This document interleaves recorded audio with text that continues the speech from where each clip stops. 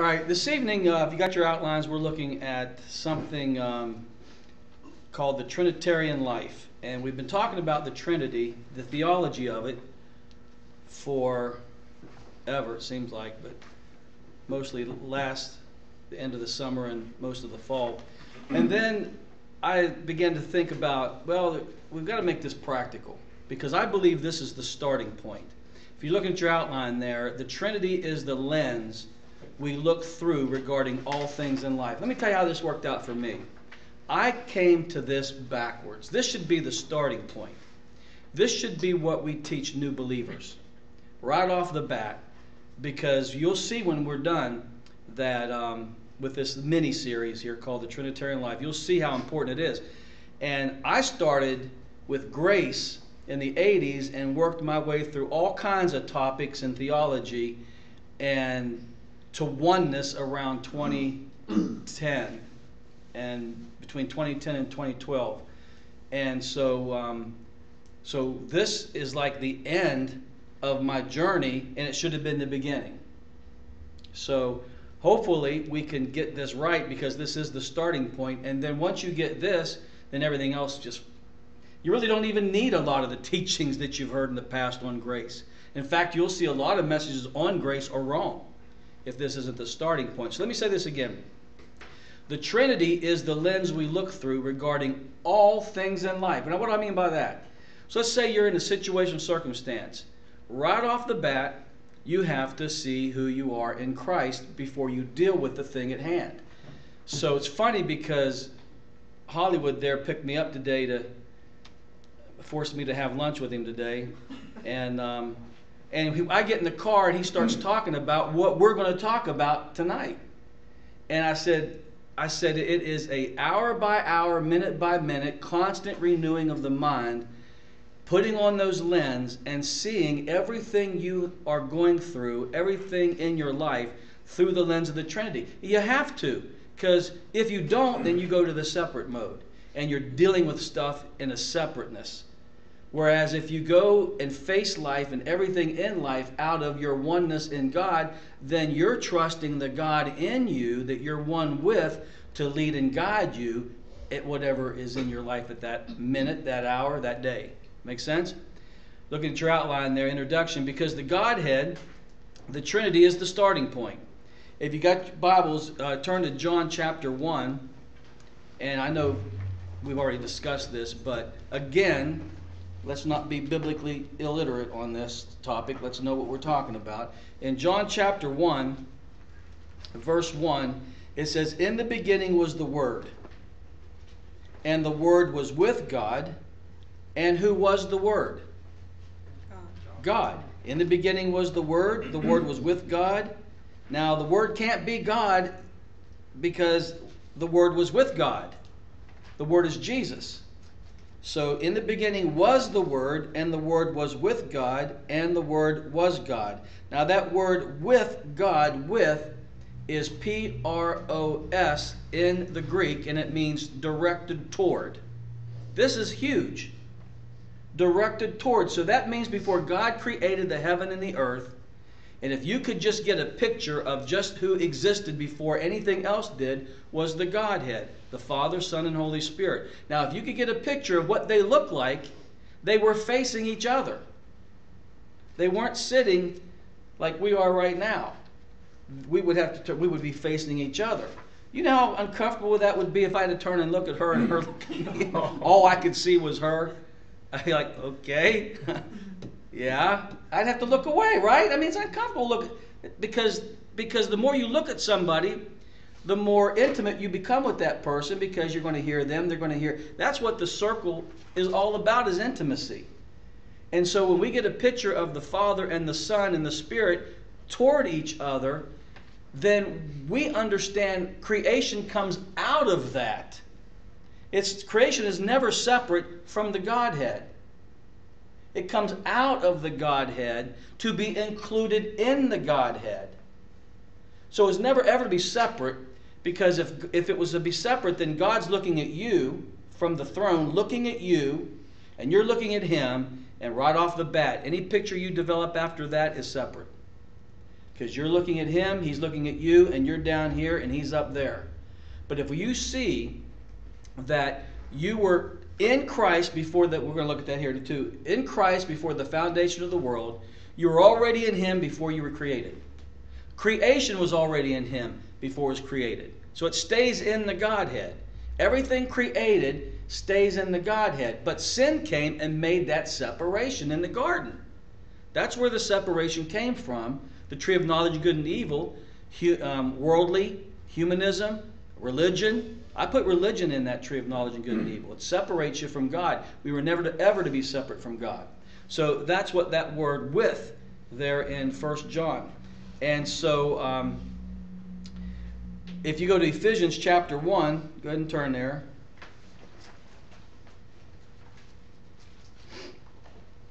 And look at verse 4. Ephesians chapter 1, verse 4. According as he hath chosen who? Us. Us. And how did he chose us where? In, In him. So we came out of him in the choosing, in the creation. We because Christ created us.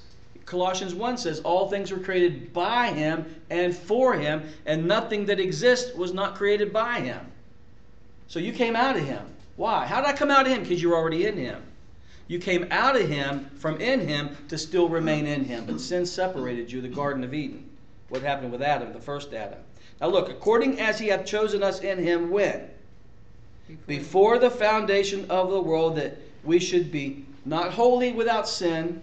That's where the blameless comes in, but set apart and without blame before him.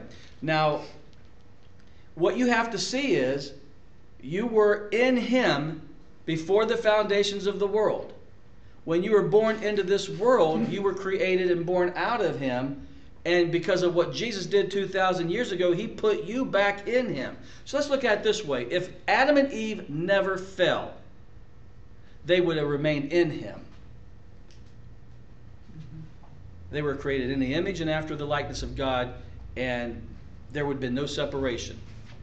But what happens is the fall happens, sin comes, separates them, and from the first Adam to the second Adam, men are born, in, born into this world separate. You, this is all in Romans 5. We looked at that if you remember.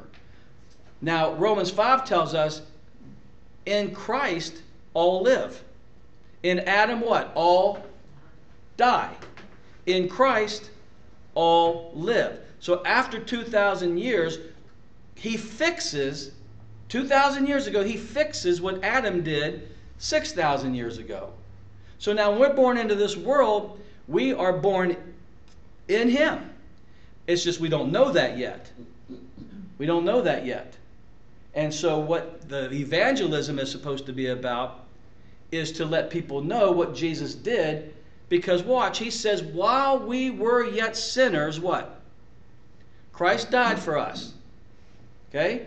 And then it also says, God was in Christ on the cross. God was in Christ doing what? Hiding from him?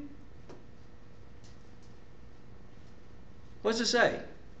God was in Christ reconciling the world where? Back to him. To himself. And so the cross reconciled you back to him before you were even born into this world. Because you were already in him before the foundation of the world, but Adam screwed your future birth up. But Christ came. Thank God you weren't born in the old covenant. It's a lot better now in the new covenant. It's a whole different ball game. It's a whole new world. But religion doesn't want you to see that. Now, how many have heard this statement? You go to witness to somebody and you go, well, you need to accept Jesus Christ into your life. And the invitation is we ask people to accept Jesus into our lives. Right? Come up, come up to the altar and accept Jesus into your life. Eh, there's nothing wrong with that. I mean, we heard that all our life. But if you understand it through the lens of the Trinity, He's already accepted you into His life. I'm not accepting Him into my life. He accepted me into His life in the Trinity 2,000 years ago, but it was already done before the foundation of the world. Does that make sense? Mm-hmm. So when you're witnessing somebody, you have to see Christ is in them. God's already reconciled them to Himself, and all you got to do is be the revealer of the good news Jesus loves you, Jesus died for you, and hope the lights come on. Is it fair that I get who got saved late in life? Who got saved late? How, how old were you? I was probably forty. 40. I got saved at 15. I must have been smarter than her. How'd that happen? I mean, she wasted how many? I mean, Long time. I wasted a lot because I was raised in religion. But um, he claims he was saved when he came out of his mother's womb, so I don't to do with that. When it began at one. he's always been saved as far as he's concerned. But why is that? You ever wonder why someone gets saved at an early age and then it takes somebody else clear to their 70 or 80? Smith Wigglesworth, one of the greatest revivalists, I think he was like, I don't even want to say, I, he was an old man. He was late in his years, maybe 60 or something like that. I think he died in his 80s or something. But um, That's not old. no, it isn't, is it? I'm speaking like I'm 20. An old man when he got saved. But um, why is that? I, I don't know, except that maybe, and maybe sometime we'll find out someone didn't tell her the truth right, and it turned her off because it was a, it was it came out of darkness, out of religion, and her spirit couldn't grab it. I don't know. No one witnessed to me. I just came to a crisis in my life and called out to God, and then the rest, you know, I got involved in church after that. But the point is, I, I don't under, I don't know that timing, but I do know no one is outside the scope of getting saved, because we're all. If you go to Acts chapter 17, now you somebody may want to turn there. Acts chapter 17. Uh, Well, let's just turn there. Because I, I just don't want you to debate me on this because I'm going to show it to you. Let's just forget about the debate. Um, somewhere in 17, he's talking to this men at, Mar- at Mars or something. Um, verse 13, they uh, brought him unto Athens. Paul waited for them at Athens. Then, verse 18, certain philosophers of um, whatever encountered him. And um, what will this babbler say? Others, some, he seemeth to be set forth of strange gods. And they took him and brought him. And Paul, stood, look here, verse 22. Then Paul stood in the midst of Mars Hill. Now, these are smart men, learned men. Then Paul stood in the midst of Mars Hill and said, Ye men of Athens, I perceive that in all things you are too superstitious. For as I passed by and beheld your devotions, I found an altar with this inscription on it to an unknown God, whom therefore you ignorantly worship. Him I declare unto you. This is the God I serve, that one you say it's unknown. God, now watch, God that made the world and all the things therein, seeing that he is Lord of heaven and earth, dwelleth not in temple made by hands, nor is worshipped with men's hands, as though he needed anything. And um, let's jump down. Verse 27 that they should seek the Lord, if haply they might feel after him and find him, though he be not far from every one of us. For in him, now look, he's talking to people that are unsaved. Now look what he says here. For in him we live. Why are you saying we, Paul? Don't include me in that. You live. He's including everybody he's talking to because we were all chosen before the foundation of the world. Watch. Um, For in him we live and move and have our being, as certain also of your own poets have said, for we are also his offspring. So he's including them in this message. And he's trying to illuminate to them what Jesus did for them. That makes sense? Mm-hmm. All right. Anyway, this was all done before the foundation of the world. What and Jesus made it possible after the fall. He comes and says, "Nope, we're doing this thing." Jesus is to secure the purpose and plans of God before the foundation of the world, so everything's in Christ. So everything can only be fulfilled in Christ. Okay? So now we come along, and what we're doing is preaching Christ to each other. To the lost, to each other, Christ is the message. All right, so look at your outline there. So our whole existence. Well, if you come down here in Ephesians 1 6, he says, He has made us accepted in the beloved. He's made us accepted, has, past tense, made us accepted in Christ, in God. All right, so our whole existence, our essence is of the Godhead, one with the Father, not separate. If you don't close the gap of separation, you're not going to manifest the fullness of God in your life. Although the fullness is there, there's nothing lacking in you, there's nothing missing, but you're going to try to get into a room you're already in if you have any separate mentality, because that separate is the gap that keeps you out of the room you're already in. That makes sense? So we are bound together in the circle of life as shared eternally by the Father and the Son and the Spirit. So the Trinitarian life is the starting point that we need our minds renewed on daily as we engage life on a day to day, hour to hour, minute by minute basis. If you look through the lens of separation, then it's all on you to figure it out, and you're going to have failure and frustration. All right? So, we're going to be looking at different topics in the, in the weeks to come, probably finish out the year, because look at these topics. Now, I'm, I'm, I just threw these out. We may not get into all of them, but like obedience. I hate that word. I was raised to hate that word because I was browbeaten with that word. And I, I found other words to use and because I hated it. Because I didn't understand it through the lens of the Trinity. I was trying to understand just through the lens of grace and grace versus law without the oneness understanding. But obedience is flipped and turned upside down, and it's not what you think it is. Money, it's not what you think it is.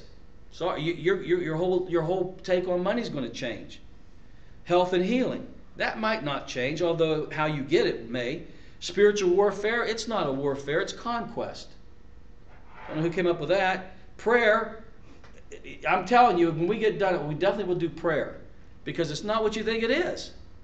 It's not what, fasting, it's not what you think it is. Once you look through the lens of the Trinity. Honestly, how many of you give yourselves to prayer? I don't blame you because you still have a religious, separate mindset regarding prayer. Fasting, oh my God, all you can think about is I'm not going to be able to eat my hoagie tonight. Spiritual gifts, we don't use them. it's, it's, now it's now what's your motivational gifts? Screw the spiritual gifts. Let's just you know use motivational gifts. Nobody's operating in spiritual gifts anymore. Or, and, and you don't know how to recognize your daily grind through religion. You, you think your daily grind is the secular world, and there is no secular world once you understand this. And recreational stuff, we the church is called worldly, you're not allowed to do, is what he, he, he created for you to do to enjoy life. We're going to turn this thing completely upside down, and church and religion has taught you the flip side of agony.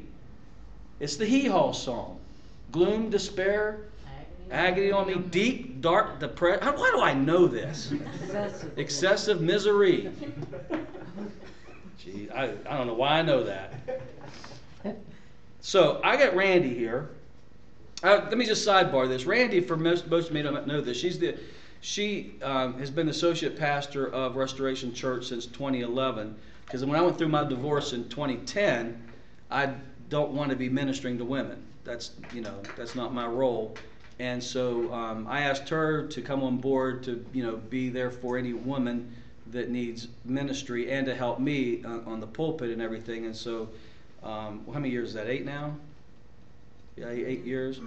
And um, so, because I asked her to join join me tonight over this introduction to this series, because she had something happening to happen to her that she shared briefly uh, Sunday morning, I wanted her to expound on a little bit before we jump into the rest of this. And something she noticed. Now, we're not being critical, we're not dividing, we're not being divisive, we're being observant. And she observed something and came back and shared it, and I want her to share that in which she observed. Okay, so recently my husband and I went to a um, worship themed conference, and um, fantastic worshipers, worship leaders. Um, and so we went in not really knowing how it was going to be. A lot of conferences that I've went to about worship, they break them up into different classes. Well, this was just coming together to worship. And um, they spoke very little, but they did have um, say things as God led them to, and of course it was opened up by the um, pastor of the church. And immediately um, I saw separation from just the whole theme of the worship conference. And I was like, wow. Because I, you know, we don't get out there that much and go to different places, and we don't see a lot of this. I listen to very few people. I don't watch TV like Greg does. no, I listen to, I listen, I have, you know, a few, very few people I listen to. And um, I usually pick and choose through their stuff what I listen to. But so the whole theme was um, confession, cleansing, and communion. And I was like, wow. Because immediately it was confess your sins. Get that, just let's wipe, you know, get that out of the way. You've got to get your sins um, confessed to God, and or if you feel led to somebody, get them confessed, get them out there. Um, so let's move on to let's get rid of the sin. You know, we're going to have cleansing. And then later, you know, communion. So they went through all of these steps, and I'm just going, wow, we they really we really have been separated. So, you know, I at first was like really sad. I was like I kept looking at Daniel going, they don't know. They don't know. They don't know our oneness in Christ. They don't see who we are in Christ, who they are in Christ, and who Christ has called us to be and what He's raised us to and the purpose that He created us in Him and for Him and to commune with Him and to love Him. And they, they see it as this process. They're on the outside of this, trying to fight their way in by doing these steps, by doing this confession and you can't get to communion unless you do the confession and the cleansing, and then you get to the oneness. So, do, so do you see that what that particular those people did was that they didn't see themselves already in the room. So they're going through the hallway, going through this, that. They're, they're, they're going to get to that room, but this is what we got to do to get to that room. And how long did that take? Now, if they're only going to get together for a couple hours, that may take an hour long. You know, and then the people who still feel like I'm not worthy to walk into that room, maybe their sins are greater than somebody else's. There's just too many dynamics that can happen within that that mentality when they should have walked through that door already in the room, knowing they're hmm. already cleansed, knowing they're all, and they they can. It's almost like think about this: when you're when you were dating somebody, you would go to the beauty salon, you'd go to Dollar General and buy some perfume, and you know, get, buy a new set of clothes and wash your car and go to the ATM, and you're do, you're preparing for the date. So well, that's just you're just not proving your point. No, no. When you get married, there is no preparation. You wake up and you blow hot, blow your bad breath in her face. What kind of preparation are you going to do when you're married? None. Your hair's all over the place. There's no makeup.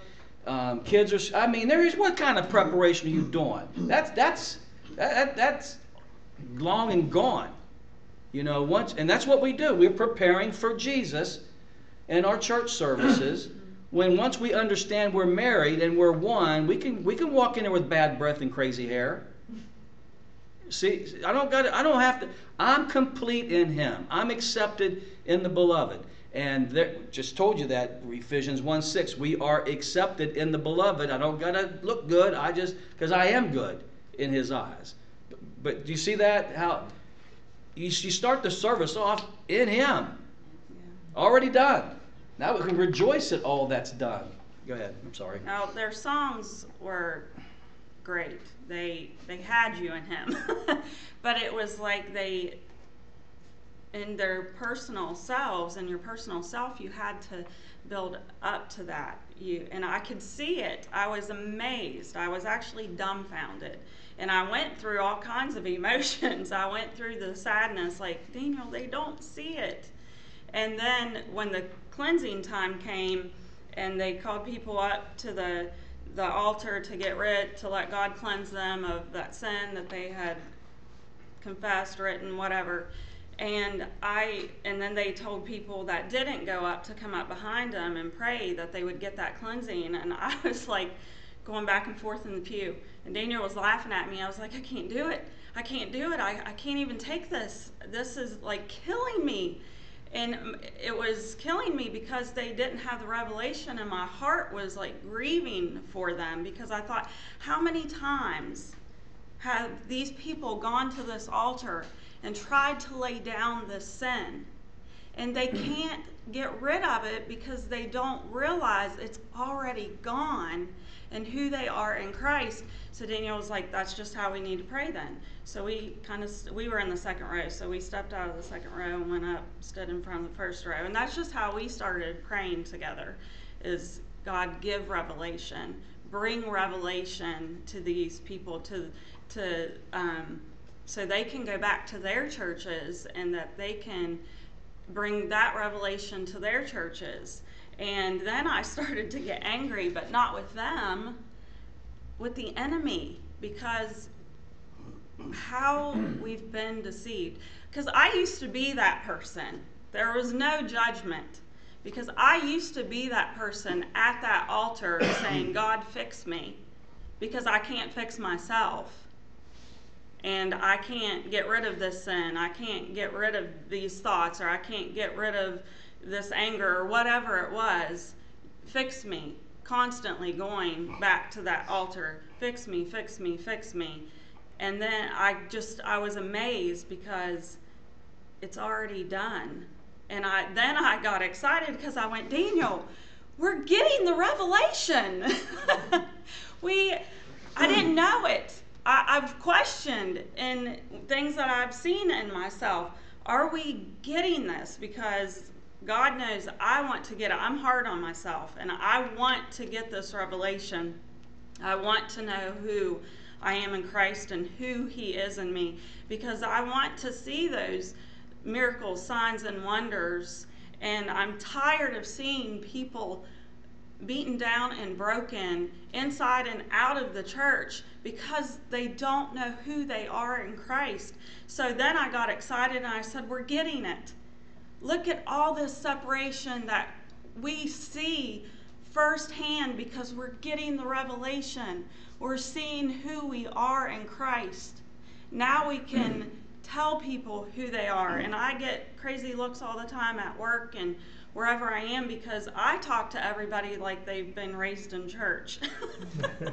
and I just start telling them, you know, what God has shown me, and I'm one with Christ, there is no separation there. My sin's been taken care of, and they look at me. They're either not saved and they look at me like I'm an alien, or they are saved and they look at me like an alien still because they don't see that. They don't have that revelation. So, this, um, if nothing else which no, it was amazing. The songs were good. I just worship from where I am in Christ because that's what I went there to do was just to worship and fellowship with these people. And it was awesome. They, um, very good spirited people. I, you know, they're kind, loving. They want this, what we have, because they were crying out for it. They and they finally got to it in communion.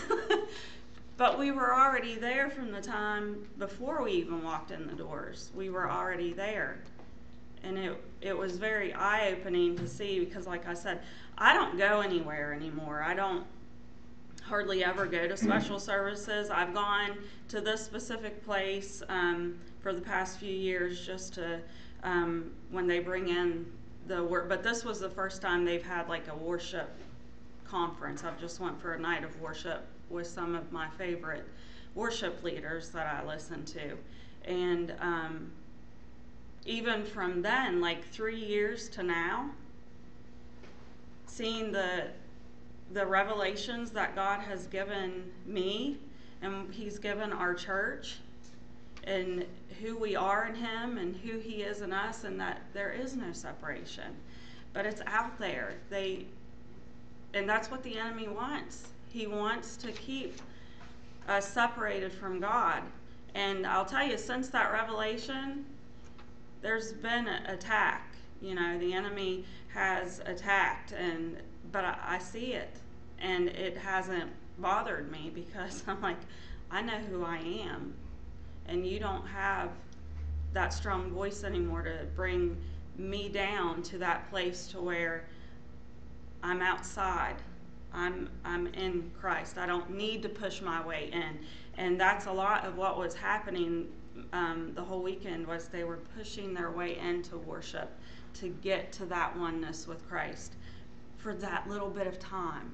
And then when it's over, it's over. It's over. They walk back out the door separate. They don't, and like she said, they only they did get the worship right. That's when they're one. They they for the most part they, you know, they they they recognize that to some degree in worship. But look, all that they have to go through to get there, and they're only there for a short period of time, and then they're right back out the door living a separate life the next six days out of the week, and not recognizing this oneness. But yeah, go ahead. Do you have anything else? No, I think that was it. Uh, look at your looking at your outline. We're at number one. What actually happens as a result of what Jesus did in a believer's life? All people's life, but especially a believer because they're awakened to it. If you got your Bibles, turn to John 14.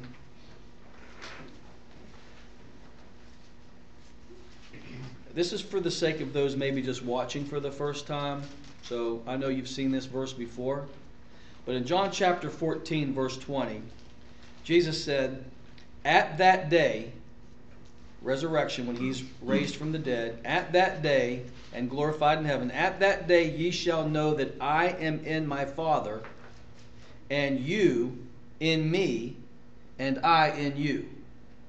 If you jump down to verse 23, he talks about how they come, the Father and Son will come by way of the Spirit and make their home in you, and because that's oneness. That's the place he goes and prepares for you is in the Godhead, not a cabin in heaven. That's just a bad translation because the Greek is abode. It's the same word here, abode, in the Greek. So why didn't they translate abode here, cabin? Wouldn't make sense, would it? Put in their cabin. We will make our cabin with you. But it's the same Greek word. So the translators were wrong in the King James. They should have just stuck with abode or dwelling place.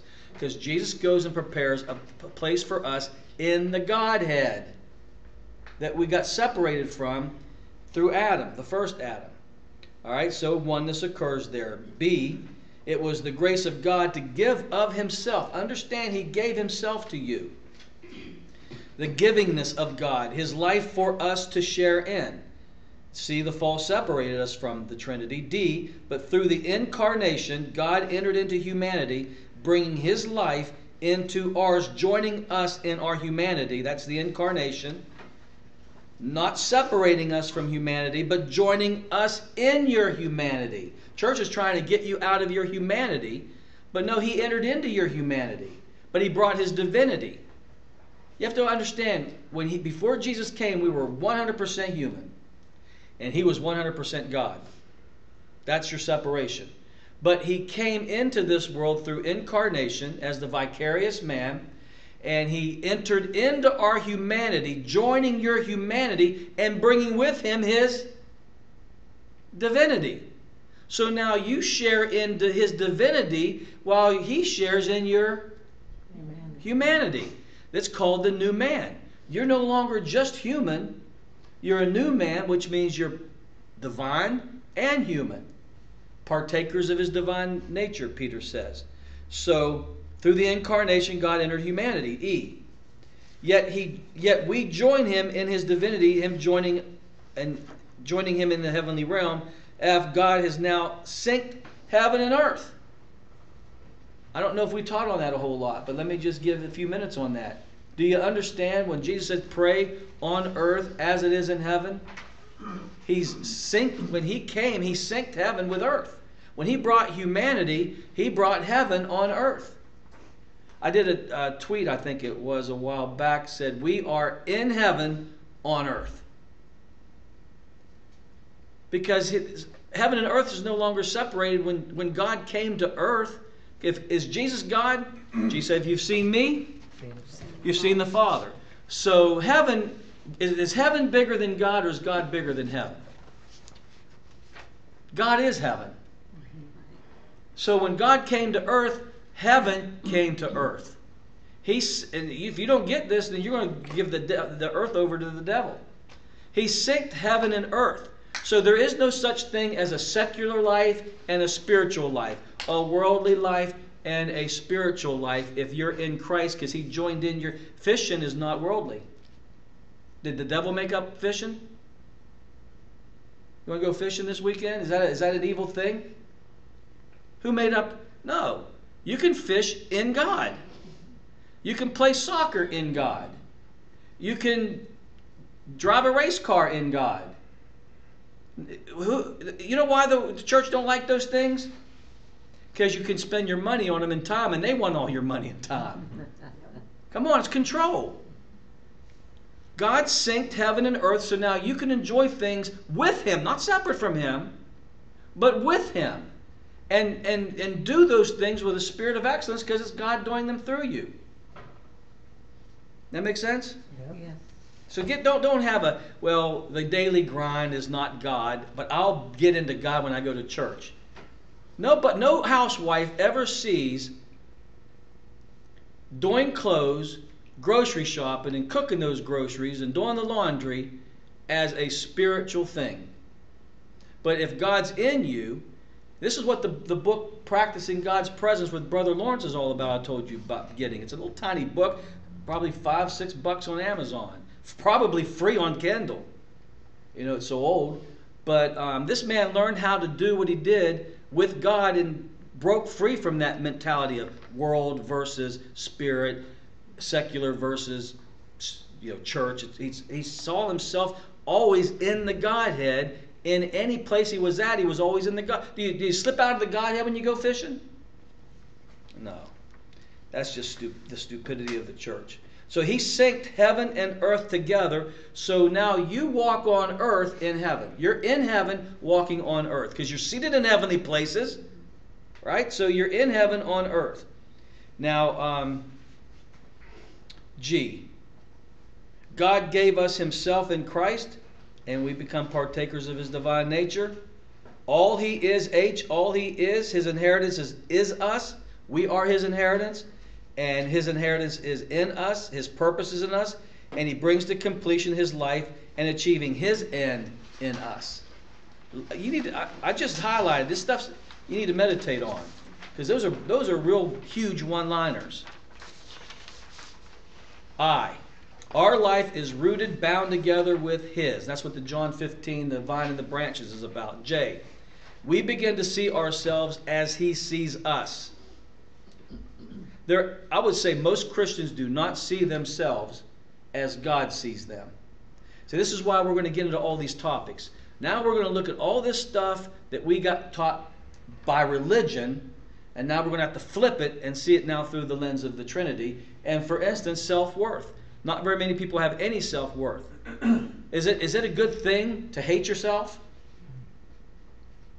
But the church is always telling you to deny yourself.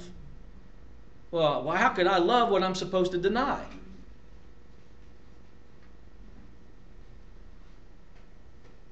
I'm in. What is there to deny if I'm in the Godhead and I'm one with Him? The only thing I know to deny is these bad thoughts the unrenewed mind that I'm denying. And that's 2 Corinthians 10, where he says, Take every thought captive. Yes, I'll deny those. But the denying was what he did. He's the vicarious man. He, he denied himself. He took up the cross. When he was denying himself, I was in him. He was denying himself for me and as me. Now, once I'm in him, the work is done. Now, all I'm denying, what you thought denying self was, is simply denying the stupid thoughts and the sinful thoughts that's still a residue of when we were in the old man or even in the religion. This, the, the, the sinful nature. Now think about the sin. Do you have a sinful nature now that you know you're in the Godhead? Is there any place for a sinful nature when you're one with Him? Man, that's it's almost like, oh, I you mean I really used to believe there was a sinful nature? Now that I know this, I don't have to think about it. automatically there can't be. I'm in him. Jesus said, You are in me, I am in you. As he is, so are we in this world. I, I have to identify see, self-worth changes. I'm not loving myself apart from him. I'm loving myself as him. I love him. How can I not love myself? God's not into you hating yourself. He said, love your neighbor as yourself. He don't want you hating yourself, looking in the mirror, you or looking at your past. There's too much self-hatred going on in the church, and religion is has endorsed that. We're not happy with ourselves. We're not happy the way we look. We're not happy with our body. We're not happy with our mind. We're not happy with nothing. And we're miserable because the world keeps flashing all this better, better, better. And look, I'm not GQ, and if all I do is read GQ magazines, I'm going to be depressed. I mean, I'm going like, I, I just, you're not going to get me in the skinny jeans, so I guess I'm just not going to be that. And feel like a second class baggy jean man. Huh? Come on. They, they parade this stuff in front of us to make you feel bad about yourself. When God said that that's that's not me. That's what the world the world wants you to feel bad about yourself. But you if you know who you are in me and I created ever I created your nose. I created your eyebrows. And I knew when you were going to be 50 you were going to start losing your hair. You, you got to love that. But we're looked at look at that's a bad thing. Who said that's a bad thing? Yeah. It is so it's so shallow to judge each other by appearances when we should accept each other because we're if we truly believe we were created in the image of God, I'm created and I look exactly like I'm supposed to look. If you don't like it, sorry. You don't got to live with me. You don't got to look at me. Actually, that's why that I have video and audio in case you don't want to look at me. You can just listen to me on audio. Uh, somebody out there likes me, I guess. I don't know. Where am I at? Okay. Okay, his thoughts of you are higher than you have of yourself. But if you never get and start listening into what how he thinks, see when you're in the Godhead, you take up the communication. You're you're in the there's a life going on there. There's communication going on there. You want to stay separate from that? I want to be in there and I want to hear what he has to say about me to me. His thoughts, David said, if you could count his thoughts, you, you, num, there's no number all the thoughts he has. You can't count them. So I, I, want to be in on hearing what he has, to, what, what he thinks about me, how he feels about me. Because watch, Kay, his thoughts of you are higher than you have of yourself and greater than what others have of you. So I don't care what my next door neighbor thinks of me. I don't care what the pastor down the church down the street that church thinks of me. I can't help what they think of me. I can't help what people think about me, about what I've done in the past. All I know is what he thinks about me. And it's a lot better than what they think about me. So woe be unto them. How come they can't think of, if they're in the Godhead, how come they don't have the same thoughts toward me that God does? Seems like there's a little separateness going on there, isn't there? Wait till we get to unity. I, I, it's going to blow you out. I, I, promise you, if it doesn't, then I'll buy your dinner. Because you, you've never heard unity like this. Never. I caught a glimpse of it in the late or early 90s, um, listening to a message by Malcolm Smith, and I'm like, that can't be. But no one ever went on with it. I got, I lost it. I didn't know one this back then anyway. He did. By the way, Malcolm Smith's probably the only guy that's on. Well, there's a few other ones. There's there's like there's like maybe a half a dozen that really got this that you can get in all their messages, especially him. But anyway, um, L. God enters our pain. Jesus, in his in his incarnation, enters our pain, suffering, weakness, and sin. The darkest place you have in your life, it's not so people can deny you and walk away. That the darkest place in your life, if we just held, hold on and wait it out, Jesus is in that darkness. But we run from people. We talked about that already. So in our darkest place, Jesus is there to bring light by renewing our mind. The truth sets us free. M. God has desires. Now here's where I want to spend some time here with M and the closing. God has desires. And if you're one with Him, how does those desires work with you? Let's say, let's say me and Randi are one. She's God, I'm Greg. She's the Godhead, I'm Greg. And I'm in her. And she has desire um, for, well, let's just use me. So she has a desire to preach and teach and make disciples. That's her desire.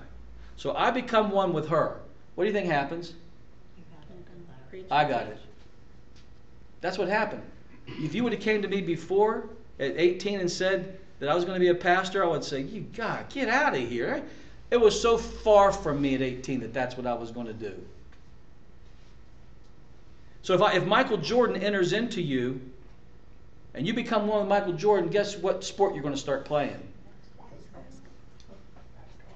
See, when God comes into you, He's got to do something with those desires. He doesn't compartmentalize desires and emotions, and this is my life and my desires, and you keep yours and I'll keep mine, and we'll we'll call it oneness, but it's really not. No, when I'm really one with Him, whatever He desires for me automatically gets downloaded to me. Just like a file off the internet in your computer. Soon as it gets there, all of a sudden, I have new drives, new desires, because I'm one with Him. And so the church has always made you feel like what you wanted and what you desired probably wasn't God. But what's He supposed to? Where, do, where does your desires and drives come from? We have to start paying attention to what we feel, what we sense, our intuition, our drives and desires. Now, of course, if they're sinful, the, you know what sin is. Do I have to? We have to talk about what sin is? You know what it is. You know what's right. And if you don't, the Holy Spirit will be the first one to show up to tell, prick your heart and say, "Nah, that's not who we are." I told you I, I was out of town one day. This is probably 2013, 2012, 2013, and um, spending some time with somebody, and I wasn't supposed to be there. I think I told you about this. And I'm telling you, I, w- I mean, you would have thought God left, the Holy Spirit left me, and I was in utter darkness where there was weeping and gnashing of teeth. It was that bad. I was, I wanted just to leave, eh, but I couldn't because I made a commitment. And I'm sitting there thinking, I got to get home ASAP. I shouldn't be here. This is wrong. Not that it was sinful as much as I just shouldn't have been there. And, and it's like, wow, what direction was I going that you put a roadblock up like that? Because some of us are a little hard headed more than the other. Sometimes it's a little prick. Eh, I shouldn't have said that. And it's over with. This thing lasted 24 hours. And if I said, if I don't get home, I'm, I'm a dead man. Literally, probably not, but it felt like it. Now, just as much as he's in there giving you desires and leading you with good stuff, he's also going to pull the reins back and prick your heart, ruin your peace, and disturb you till you get it right. You, do we understand what oneness? Oh, we can celebrate the good part of oneness, but also there's another part of oneness where He'll reel you in because He is committed to you. He sent His Son for you. He He, he brought you into the, the the Holy Trinity, the circle of life. There, He ain't letting you go.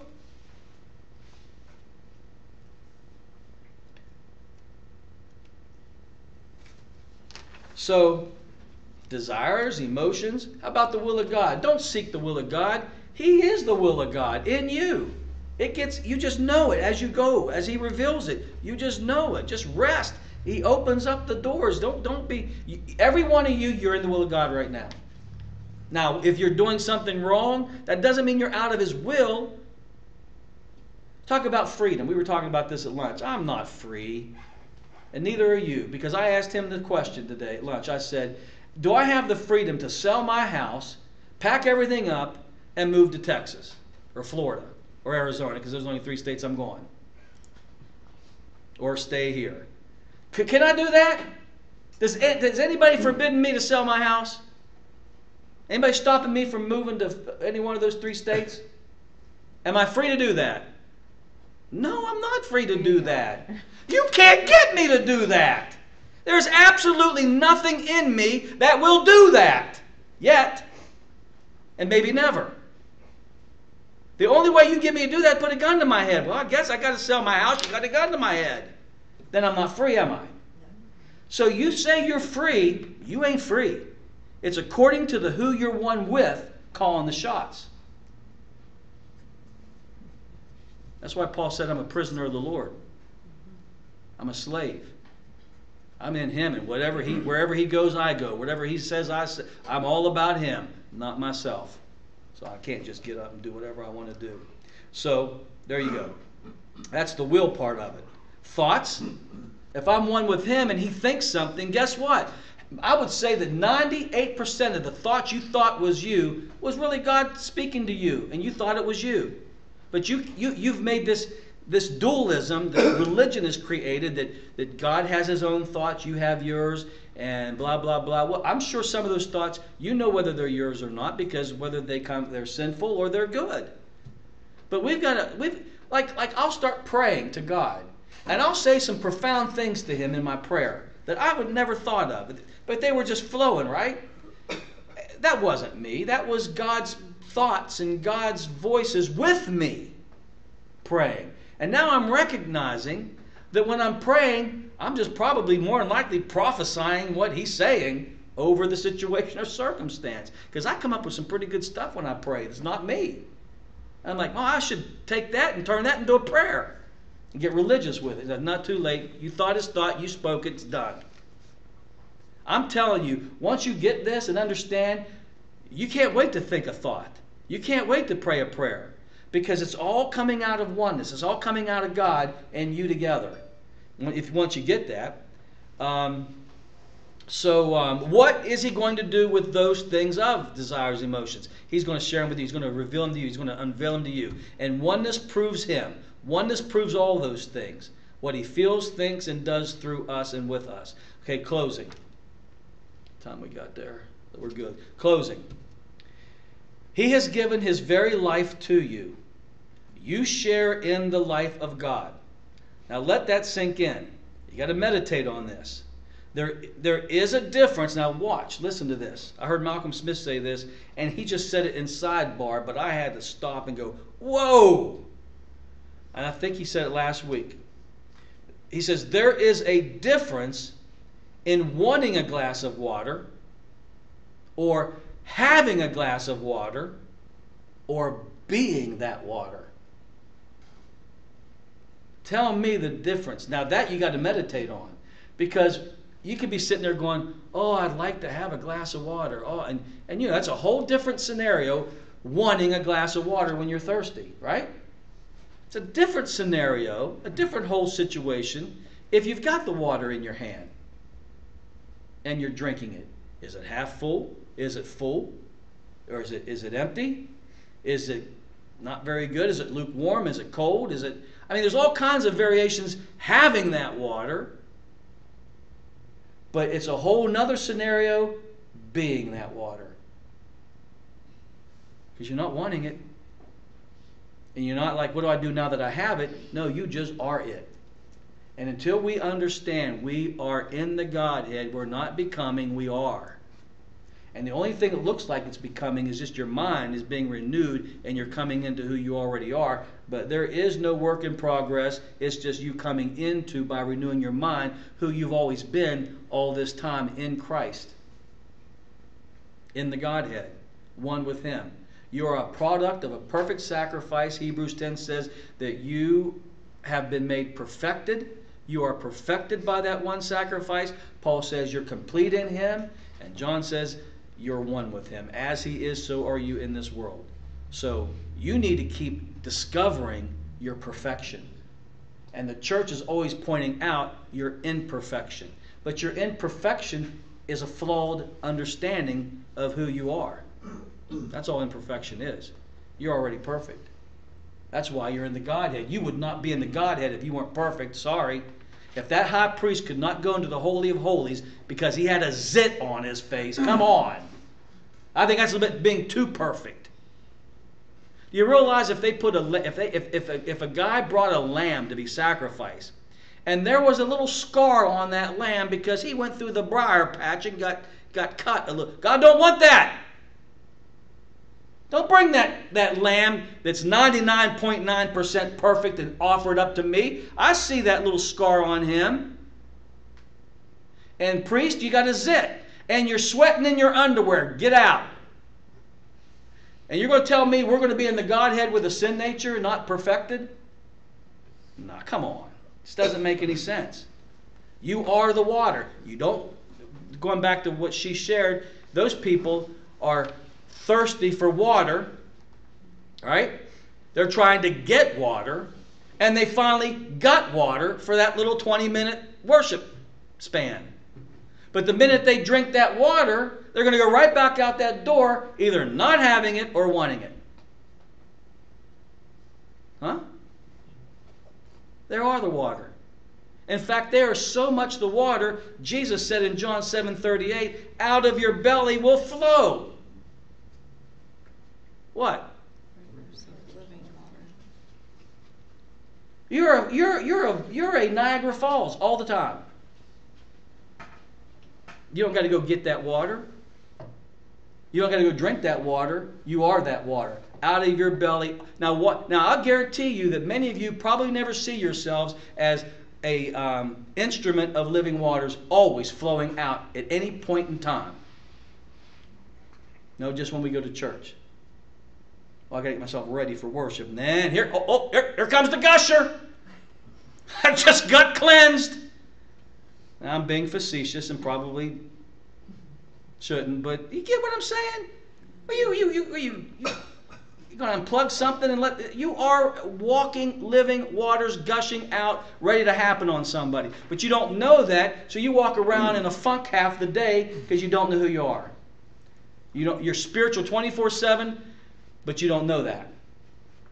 You got water coming out of you all the time that could minister, and, and, and, and, and yet, I, why, why do I feel? And when I start feeling like I'm not that, that's when I renew my mind on who I am and who I'm in, and I know those waters are there.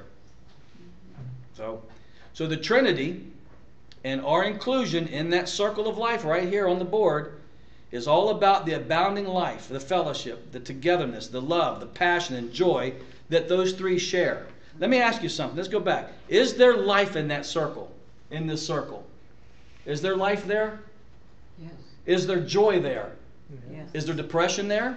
No. Is there anxiety there? No. So let's look at this again. Look at the outline. The Trinity and our inclusion in the circle of life is all about the abounding life, fellowship, togetherness, love, passion, joy that these share, and there's more, that's just all the time. And you are there. Why are we not engaging and encountering all the above? Who lied to us? What's religion saying? Why does religion keep me out of that circle? Have me has me always working to get there, working to get joy, working to get love. I start there. I am that sorry. Any questions or comments? Do you have anything you want to add to that? Um, I thought I did, but now I forget. does anybody, while she's thinking, does anybody have any comments? Tonight is the first night that I got out of our belly full, flow the rivers of living water. I got that tonight, You, you, but you've read that before. Yeah. You're aware of that. thousands of times, and I never got it till tonight. And it hit me before you said that. It just, Yeah. Yeah. So there's a lot of scriptures that you know, that you can quote, but you haven't looked at them through the lens of this yet. And they're going to flip flop. You're going to like, oh my God, doesn't mean that. It means this. And it's going to change everything. It'll always change into good news. If anything you, if you look at the life through the lens of the Trinity and it's not good news, you're not seeing it right. it has to always be good news. Because it's the gospel. The good news of the gospel.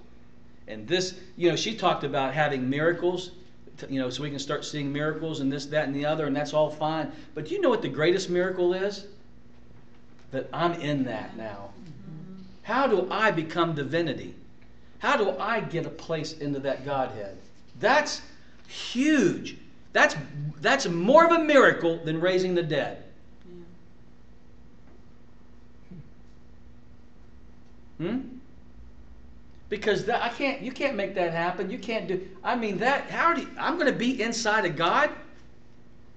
How I'm going to be perfect? I'm going to be all that he says I am? That me being in the Godhead is the very first of many miracles, and it's the greatest. So let me ask you: Would you go? Would you rather have be separate and raise somebody from the dead, or be in the Godhead and not raise somebody from the dead? Yeah. So now we got the greatest of miracles. Anything less, anything other than this is less than that. So the, all the other miracles are less than. So let's go do them. Because we've got the greatest miracle that happened right now, and that's us in Him and He in us. And wait till I get to unity. It's going. I mean, I I'm, I can't even believe it. Some of the stuff I'm coming up with, I'm like, ugh. But it's it's right.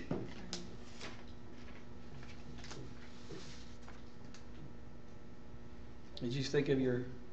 Are you blank? No, but I did just think that's where our power comes from. If we don't know who we are in Christ and and recognize this this greatest miracle of being in the Trinity, then those miracles aren't going to happen because then we see it as us doing them instead of the power of God through us. Yeah, and that's the doing them. fullness. Yeah. You know, she said something just made me think. How many people do you think are in college right now, and they have no clue? I was talking to a friend of mine that uh, took. Um, oh man, what did he take? He took some class in uh, at Fairmont State. He went back to school. He was in his 40s when he went back, and um, he took. I think it was some type of a biology class or something, but. Um, he's like, when he was in there after so many days or weeks, he's like, uh, I'm over my head. I have no clue. And he's like 40 some years old at the time, and he's got he's looking over these foreign kids, these Chinese kids, some Asian kids or something. They're like 19, 18, 19, and it's like 101 to them. And he's like, I'm out of my element, because he doesn't he didn't have that comprehend that ability to comprehend. So he had he had he just had to get out of that class and realize, okay, I, I can't do that. But how many are in the Godhead as he was? Because we don't know. But it's not that you don't know because of your eye, your spiritual IQ or your physical IQ. It's you're you you're like him. You're like him in a class. You're in the Godhead, but the truth has not yet set you free in certain areas of your life. But you're there. You're in the class, but there's still yet more to know to get the fullness of who you are in that class. So I, I would say we're, all, I mean, definitely we're all here. But fullness, that depends on what has been renewed in your mind. And that's why Paul is so adamant in Ephesians about God opening the eyes of your understanding, that you may be rooted and grounded in Him, that you may know Him and the riches of His grace and all that, because there's still more to know. Because our mind and transformation comes by the renewing of the mind. So we're constantly on this quest of renewal, renewal, renewal, renewing the mind. Make sense? Yep. Mm-hmm. Anything else? Now look here, it says next week we're not going to have anything, no service, no Thursday night next week because it's Thanksgiving. Now, however, that's going to be two weeks, so I didn't really want to get anything heavy this week because we're going to skip a week. So we just went light tonight, kind of just like an introductory thing, so that if you have if you feel like you know you're jumping into making it practical and yet I don't understand the the depth of the Trinity. So what I want to encourage you to do if that's you, now if you're like, hey, I know where I'm ready, then just meditate on this for the next couple weeks and, and who you are in Him. But if you don't feel like you got the Trinity yet, because if you don't have the Trinity down under your belt, at least a decent revelation of it, then it's not, you're not going to be able to walk the practical out because you still don't have that revelation of you and him and he and you. So what I want to encourage you to do for the next two weeks, because it's going to be two weeks before we come back here again, take two weeks and get on the internet and get on the web page and look at go to tr- the Trinity and re-watch some of those. Or if you don't know where it's at on the web page, then go to the YouTube page and hit go to my our, my YouTube page, hit playlist, and then you'll see Trinity, the Trinity, and all of them are there. And if you hit one, it'll play them all back. You, you can binge on my Trinity messages rather than Netflix over Thanksgiving holiday. You can just sit there and it'll play one right after the other till you till, till, till you go through it. But it's there. So I want to encourage you to do that. And even if you did know it and you, you got some downtime, watch some of those again. Because I'm telling you, where we're going to go, we're going to flip everything you learned religiously on its head. And these topics, you'll never see these topics the same again. And I promise you that. Which one did I say if, if you don't, I'll buy your dinner? Which one did I- Unity. Unity. Man, that I, I got a little bit more on that today, and I'm like, oh my God, that that that's too good to be true and too wild. And yet, when you look at it, it's like, my God, it's been sitting there telling us this all week long, or for however many years the Bible's been written, and we we you you're not hearing it anywhere. And the church is so divided. There's so much hate in the church. There's so much unforgiveness. When I teach, when we, when the Spirit teaches on unity, there you're going to like unbelievable, unbelievable. You're going to shake your head and walk out of here in disgust. Oh well, bittersweet. You'll be disgusted but happy you now know the truth. Good stuff. I promise you. What's coming is good, or I wouldn't waste your time sharing it. Amen.